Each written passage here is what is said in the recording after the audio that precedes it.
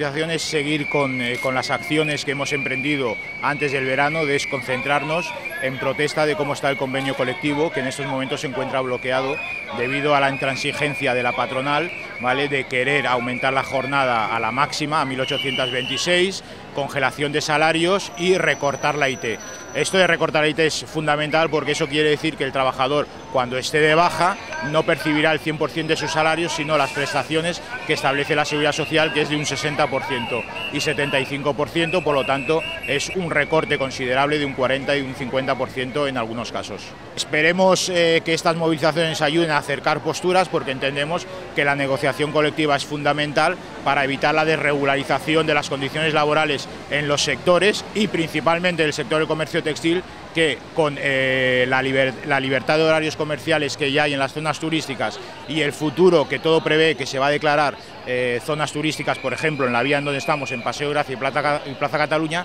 eso conlleva, casi imposible, imposibilita conciliar la vida laboral, familiar y personal. Eh, tenemos previsto para el lunes una reunión con la patronal donde, está, donde escucharemos y a ver si la patronal quiere acercar posturas y si no ya nos, ya nos evocará a una huelga general sobre el mes de noviembre ¿vale? para todo el sector de comercio textil porque esta ya es la quinta acción que hemos hecho de manifestarnos públicamente en, en, la vía pública en señal de protesta y exigiendo sobre todo que el convenio de empleo y negociación colectiva firmado a nivel estatal se cumpla y sea la base de la negociación colectiva.